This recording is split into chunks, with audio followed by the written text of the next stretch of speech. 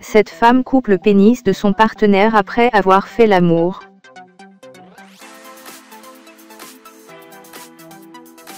Le but d'une communication de couple saine est de pouvoir débattre d'un sujet sans heurter l'autre.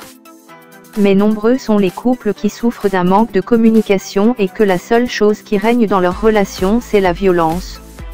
Une violence qui peut avoir des formes différentes selon le caractère de chacun, comme cette femme de 34 ans qui a coupé le pénis de son partenaire parce qu'il ne la regarde pas droit dans les yeux lors des rapports sexuels. Découvrons l'histoire. Il est primordial dans un couple de communiquer sur les points qui déplaisent dans la relation, quel que soit le degré de la tension que cela peut créer. Il ne faut surtout pas cumuler les disputes et les divergences de points de vue, car cela peut mener vers une violence verbale ou même plus. La clé de l'harmonie dans un couple se trouve dans l'art de bien communiquer. Le but étant de pouvoir se sentir écouté et libre d'exprimer ses pensées et ses émotions.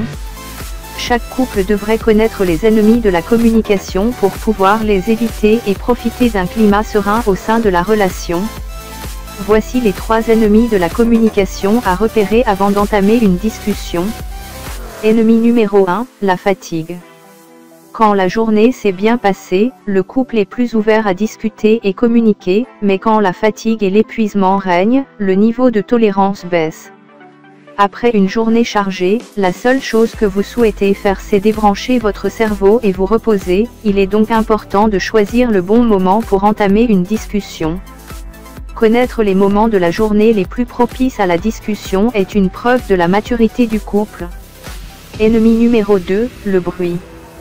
Afin d'avoir une discussion positive, il faut être dans un environnement calme, une discussion sur un sujet important qui touche notamment le couple ne doit pas être abordée dans un supermarché ou un endroit public bondé de monde, c'est peut-être possible mais il y aura plus de risques que la communication n'aboutisse pas.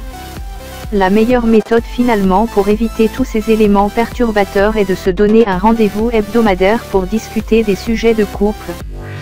Par exemple, décidez que tous les vendredis soirs pendant que les enfants sont chez la nounou ou les grands-parents, vous profiterez de ces instants à deux pour discuter des sujets communs autour d'un repas aux chandelles. Ennemi numéro 3, la colère. La colère est bien l'un des sept péchés capitaux, lorsqu'une personne est en colère, il n'est pas rare que ses mots et ses actes dépassent sa pensée. Lorsqu'une personne agresse son partenaire verbalement ou physiquement, ceci n'impacte pas seulement l'autre mais aussi la personne qui agresse car son cerveau perçoit négativement cette violence. Il est très important de noter que rien ne justifie la violence à l'encontre de son partenaire. Une telle perte de contrôle de soi est non seulement dangereuse mais aussi moralement inacceptable. C'est ainsi qu'une femme aux États-Unis a réagi à cause de la colère, elle a coupé le pénis de son partenaire car il ne la regardait pas dans les yeux pendant qu'il faisait l'amour. Comment cette femme a perdu son sang-froid et s'est attaquée à son partenaire? Une femme à Scottsdale, en Arizona, a été arrêtée après avoir coupé le pénis de son partenaire. Shania Jones, 34 ans, a affirmé lors des interrogatoires qu'elle en avait marre de son partenaire, nommé Bruce Fox, car il refusait d'avoir un contact visuel avec elle pendant les rapports sexuels.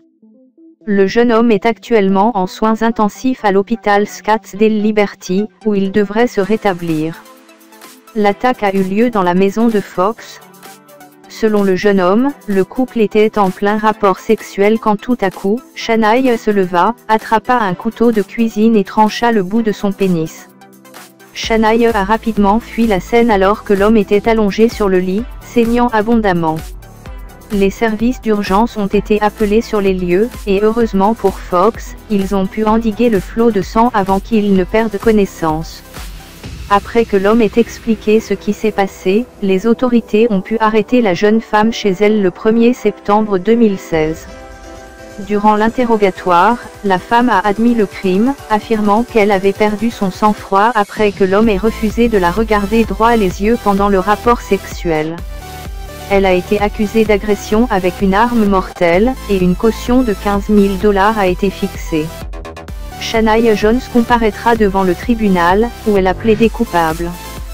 Le juge a condamné la jeune femme à 8 ans de prison ferme.